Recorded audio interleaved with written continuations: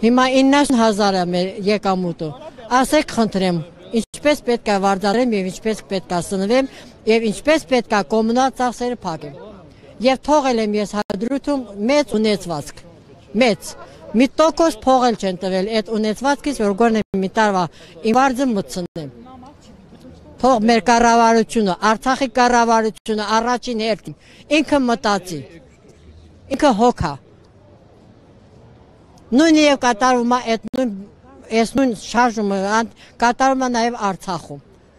Բոլորն են նեղված, բոլորն են սրտնեղված, բոլորը սոված։ Ամեն պակաս։ Լրիվ, չգիտեմ գերեզմանները թողած։ Ջահետ տողուս գերեզմանը թողած, որ եք լսել են, որ ասմա թուրքերը քանդում են գերեզմանակարերը։ Ես ինչպես կարող եմ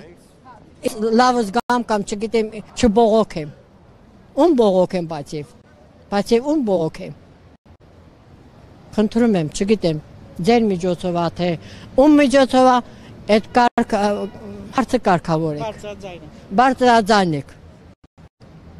Իրանը մտածում է հարևան երկրի մասին, բայց մեր ղեկավարությունը չի մտածում իր ժողովրդի մասին։